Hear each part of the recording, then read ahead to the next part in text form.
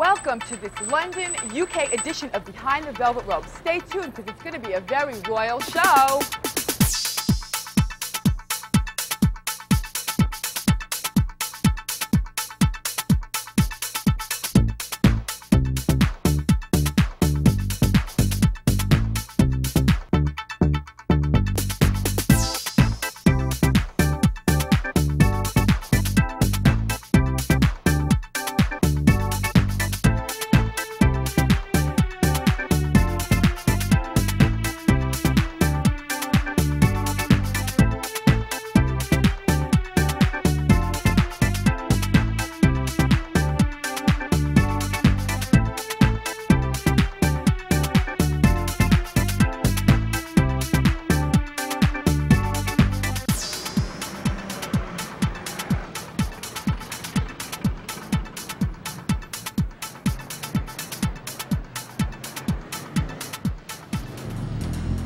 First stop today is Theo Fennell, who makes some really cool jewelry and objects. But check this out first.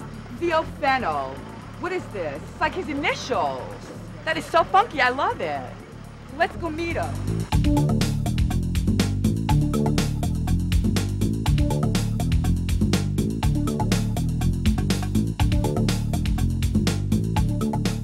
Hey, how are you?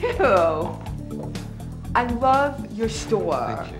Now you do have a sense of humor I hope so, yes. because a lot of your work does. I just picked up something before. Now this is so chic. This is a Heinz 57 ketchup bottle. Yeah, tomato ketchup started it all off because uh, I had clients whose wives got really cross if they put tomato ketchup on the table if they had a nice table laid out. So we made the first one and then it just spread through to the HP sauce, to the Marmites, to French's mustard, to everything. So you have some clients that demand only the finest. Yes. And you give it to them. I certainly do. I give it to them as much as I can. It's hard to find things for people that have everything. Yeah, and these, is. this is the ultimate in luxury. Yeah. To have, you know, a Tabasco sleeve. and the caviar bowls, which are very useful if you eat that much caviar. And then things like the cappuccino whisk. How many times does your cappuccino just lose its froth need an extra stir? A cappuccino? Whisk. So what do you do with that? You just Well, it just revives the froth when it's beginning to fade. Wow. In that terrible moment when the froth begins to. I know that's a drama in my It is, it's household, I bad- It's a bad moment. a lot of what we do is based on very old traditions on, on of British uh, uh, silversmithing. And for years, they would do salt and pepper and mustards that were based on shoes. So we do cowboy boots, we do shooting boots, biker boots, Wellington boots, whatever. And then the bathroom set, which is the salt, pepper, and sugar. So the, the bidet would be the, the salt. I love and then that. this is the, the little pedal bin, which is the pepper grinder. I mean, for all the gimmickry of it, in fact, they're, they're useful things and they're fun to have around. But they have to be well made. I mean, that's one of the things I would stress. If they're badly made, they get very tacky. No one's going to buy them if they're badly made. Except the people do sell badly made stuff in huge quantities, which is deeply upsetting for me because they make so much money doing it. You know, little pill boxes made like a little briefcase or like a So vanity cute. box. But they're, again, they're handmade and they're really, you know, I can't stress how well made they are. I mean, if you open this How cute is that? guitar case pull box, and that's for the bass guitar. That's the, the curry set. Um, wait a minute. for the beer and the. is that Well, that's the end of the meal.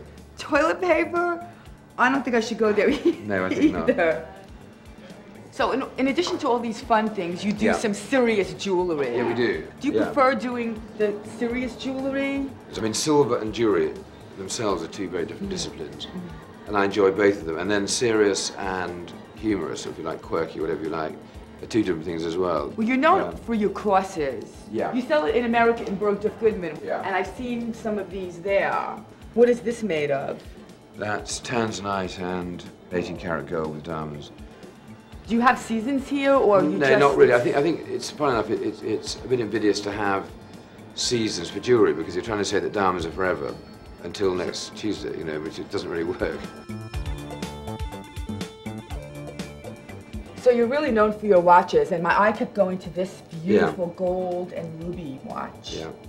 And he was really trying to get something that was classic but contemporary and a guy can wear without feeling uh, too ostentatious, unless he gets to sort of kind of this one, which perhaps is more ostentatious, which, This is for a man? yeah, there's a smaller size for women and there's a much bigger size as well, the magnum size.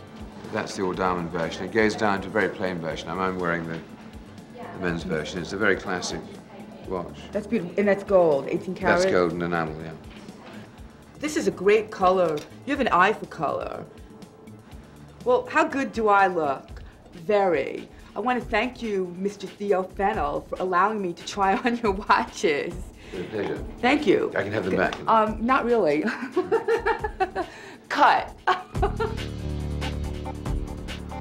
How cool was that, Theo? I really like him. Well, you're also gonna like my next guest, Anya Hindmarch makes the coolest bags around. You will see what I mean, so let's go.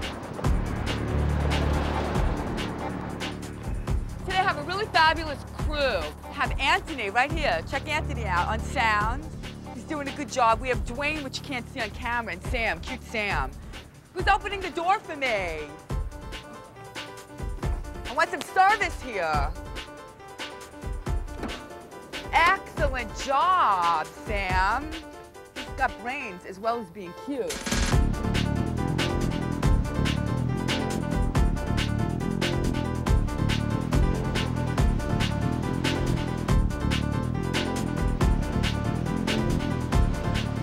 We made it. We're here at Anya's, and look at her window. How cool are these little bags?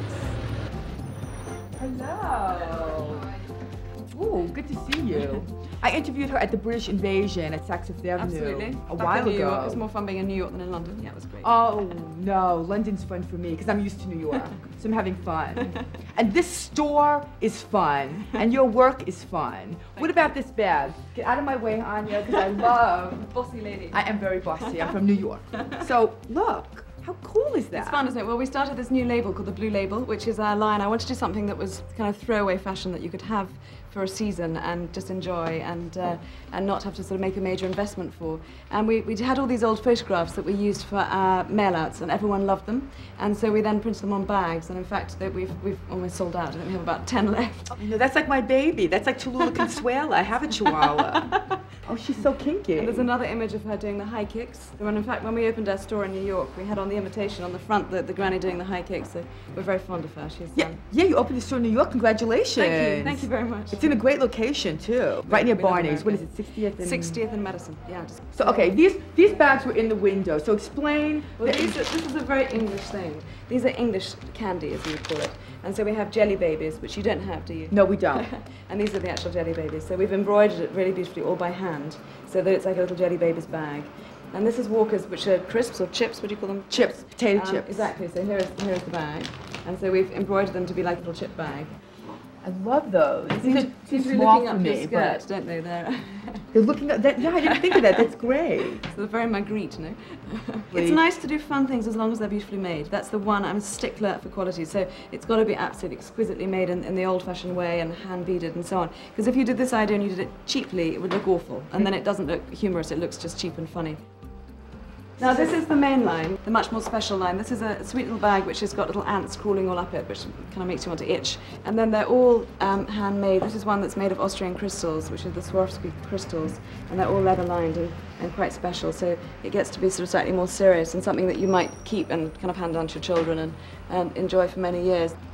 And then this is probably sort of our trademark little bow, which um, I have a bit of a fascination for, for old-fashioned tassels. So This would be more expensive. Than yeah, it is. It's, exactly. It's handwork and it's leather lined, so it's it's investment pieces that will last much longer. We've just started doing our own little line of cashmere, which is made in Scotland, just because I really wanted to do it. And we've done some very pretty ones. I'll show you, which have little spiders, like the ant theme, and the spiders are crawling up, embroidered, crawling up the sleeve, which is quite fun. Well, the other room, Yeah. I know that you do little leather purses and things that you write addresses Yeah. and names. So let's go look Okay. at that.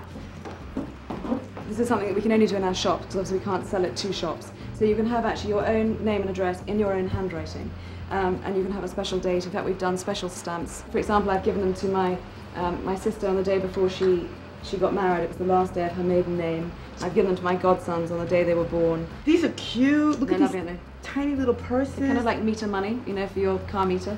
They actually take 10 one pound coins, so they're actually quite good for, uh, for meter money. I love the eye. It's so demented. So you have three different looks here. I mean, this is more businessy. A lot. But don't you think you can be three different women and one woman? I think that you can be kind of sexy and silly, and you can be frivolous, and you can be grown up, and you can be kind of sentimental and romantic. I think you can do all of those things. And so I kind of design what I like, and sometimes I want to be that and businesslike and serious, and other times I want to be silly and This is wonderful. this is like a little jewelry case. It's quite fun just to take away some jewelry just if you're um, traveling. Now this is cool too. This is a bigger jewelry box. Yeah, which is fun. In fact, we've actually just made a very similar design um, to this for British Airways for their first class passengers.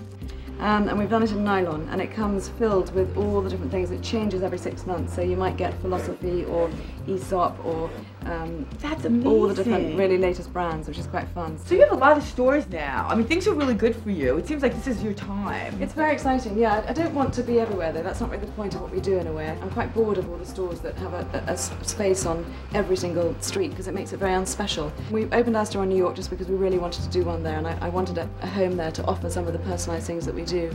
Um, but uh, we're not going to be going completely mad. Um, I want to keep it small and manageable. Who, who are these people? Are these your relatives? Is this your parents? I wish they were. They're so fab. Fess up. Tell the truth. I promise. I promise. But the body language, they're miserable. Well, they're miserable, but they're probably just sort of, I don't know, resigned to the fact they've probably been together for 60 years, don't you think? And they're just sort of, you know, kind of miserable but happy. It's, you know, it's real married stuff, isn't it, finally? Oh, is this what you were talking about? Yeah, you were this, talking about. this where is the little, little sliders that are pulling out the side. Very cute. Very itchy. No, he, they're cute. And this is then a monogram done in beads, which is quite sweet. Well, I want to thank you for allowing us here. It's great. Such Congratulations, she just had a baby. Congratulations on your store in New York. Thank you. So everybody go shopping and buy some Anya. See you soon. Do you think Anya planned this? But her bag matches my outfit today. It's black and white. Amazing. Well, now we're going to go right next door and meet Ollie Spencer. I love that name, Ollie Spencer of Violet. He's a designer. So,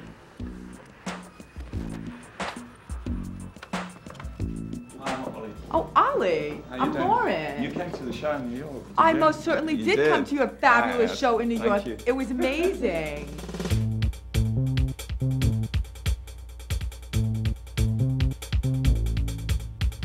You know, my specialty in life is textiles, and so we were thinking, you know, take sheer and use a lot of sequins.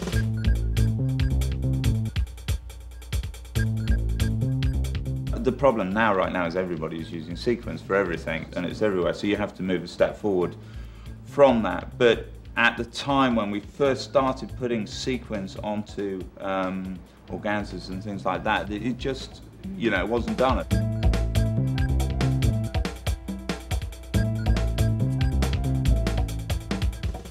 What we were trying to do then was to try and make English clothing wearable. Half of the problem we have is that we're quite a creative nation, but at the end of the day, the body fits don't work a lot of the time. And we produce clothing that is perhaps too avant-garde. So what we wanted to do was to produce stuff that would be fun, light, and easy to wear.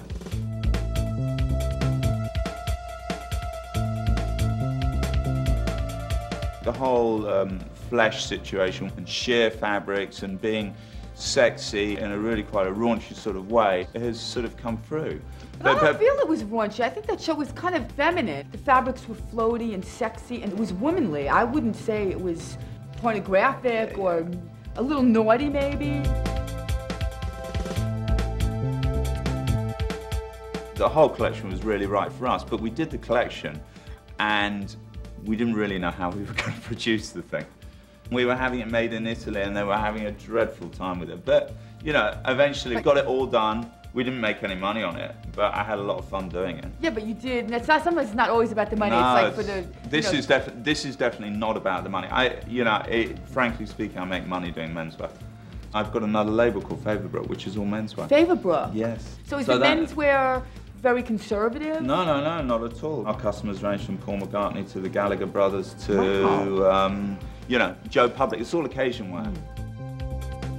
So you design your own fabrics. Yeah, that's exactly what we do. Right at the beginning, we get a fabric, we design the fabric, we get the fabrication made up, and then we start looking at garments right now.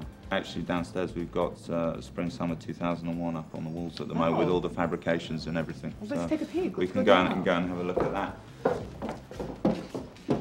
Oh, everyone's working really hard down here. I love this. So organized, so neat.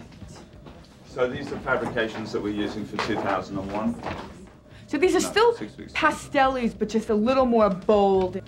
So are you doing shows? Are you doing another show? You know, the, the purpose of doing a show is a twofold purpose. One is to get uh, the buyers in there, and the other is to get the press in there. And at the end of the day, my collection as it stands at the moment is very easy to sit in a showroom on hangers, and a lot of people will buy it separates and place it with other garments from other designers. So it works quite easily like that. You were saying Yeah. that you don't go on sale here because you only have like 10 pieces left. You sold everything. Look at what's left. Turn around. That's the whole stock collection. There's like nothing left. I mean, I'm not against sales, but at the end of the day, if you sell out your collection, then what's the point in putting it on sales? We're also getting quite heavily involved in homeware as well. Homeware. Yeah. Chuck me over a cushion, James. Woohoo. That's There you go. lovely. That type of thing.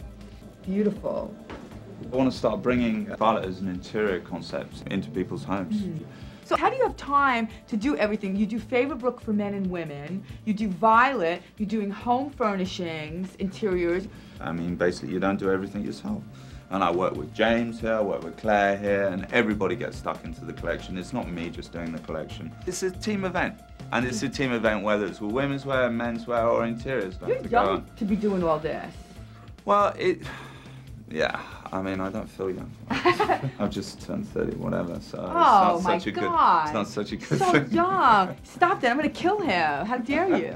I'm a little older than that. But I look good, so it's all the makeup. You do, you do, you do. Well, I want to thank you, Ollie Okay, Spencer. This was like really fun. Give me Okay. a kiss. Mm-hmm.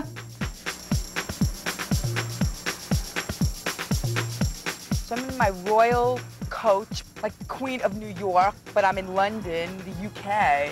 I love all the little stores and everything's so clean and immaculate.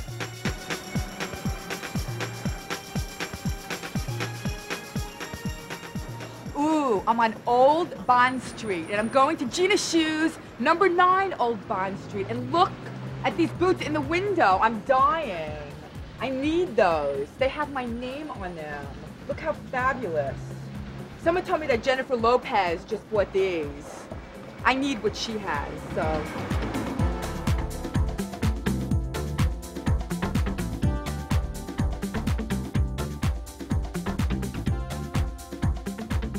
Okay, who's who? Because I know there are two brothers, Altan, Altan, Altan, and this is Aydin. Aydin, and we have another brother, Attila. Attila, like Attila the Hun. That's right. Fierce. Fierce, yeah. Your shoes are fierce, so let's sit and talk about them. Great. I saw your shoes first in Bergdorf Goodman, and I said, Gina, oh, who is this Gina? She's fabulous. But it's three men, three right, brothers, that's who got the name because you loved Gina Lollobrigida. Was that the deal? Uh, originally my father. I think he had a slight crush on her, possibly. Don't tell your mother. No, no, no, no. she doesn't no, know about no, that. No, as long as it's just between me and you. Okay. Father started 45 years ago making elegant shoes. He was known in England for making a, a very sharp point on the end of a shoe and a stiletto heel. Uh, it's something we all grew up with. You know, the elegance of, you know, nice shoes is just so, so good and it's so rewarding. Did someone tell me that Jennifer Lopez had Yeah, these shoes on? absolutely. Well, No, these just yeah. happen to be my size. How good does that look? Sharon Stone, Mm-hmm. Angelica Madonna. Houston, Madonna. Royalty. There's all kinds of people that are wearing our shoes. Now, this shop that we're in, you have two other shops or One other shop in one other yeah. shop. This is the couture. That's so right. What does that mean? A customer can come into our store with a meter of fabric and we will, within three weeks, produce a pair of shoes and a matching handbag if she wants out of that fabric. Wow. Now, these are new. Is this what season is this? This is fall 2000. That's right, yeah. That's a new material. That's something that Madonna's actually had and we made that for her for her American Pie video.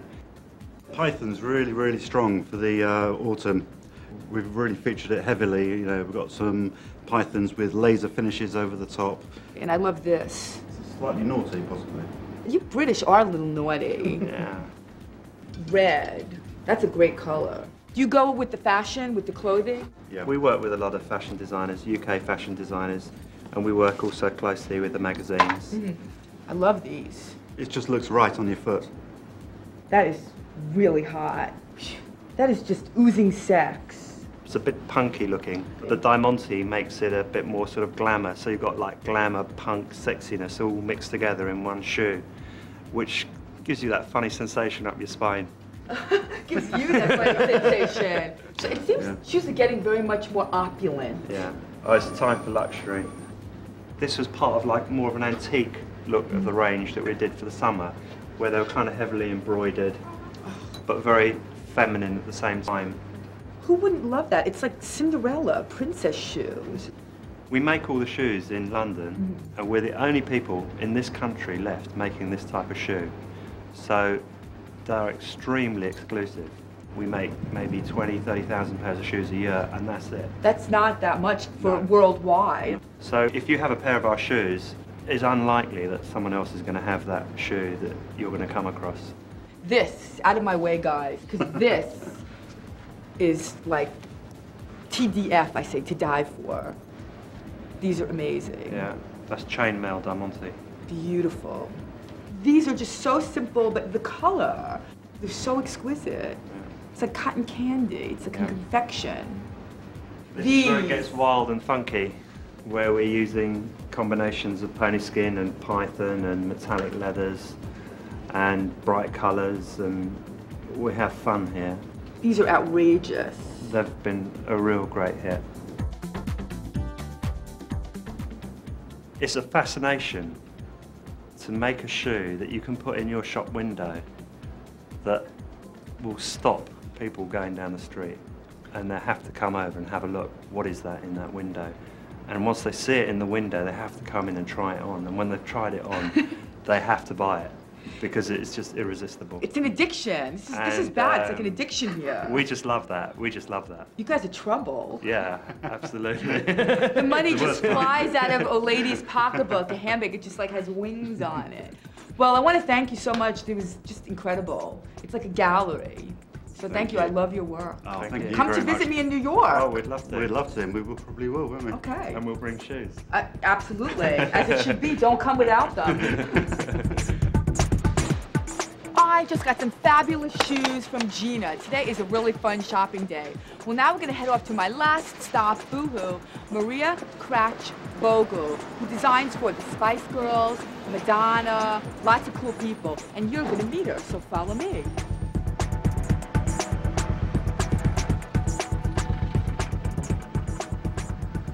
Well, we're on South Moulton Street. It's the cutest little shopping area here. They have a lot of little stores, boutiques, coffee shops, more shoes. Oh, Molton Brown. Cool beauty products. Uh-huh. Hi, it's Lauren from Behind the Velvet Ropes. Hi, Lauren. Hi. Come on up. Okay. How beautiful is this? Feminine and flirty. Love that. Hey, here she is. How are you? Nice to meet you. Nice to meet you too. I was peeking before you got here. I love this dress. Thank you. Thank you. This has a name. We call it the Black Widow, actually. And you can kind of see why. It's all um, it's all been hand divorced in kind of the shape of a spider's web. It's quite amazing when it's on. It's very sexy. So let's sit and chat. Let's sit here. Girl talk. Girl talk. I was coming to London and I said, who did I, I called somebody up and I'm like, well, who's hot? Who's happening? Maria Grachvogel, you have to do her. She's like fabulous. She does clothes for Madonna and this one and that one. So all of a sudden there's a buzz. Why do you think this is your time? You know, people are really interested in what you're doing. I think it's down to um, really the sort of return to glamour and women wanting to be women again. Um, I think there's been really, I guess, a move away from fashion per se and into a woman expressing her personal style and her saying, I'm going to take control of the way I look and I'm going to make myself look fabulous.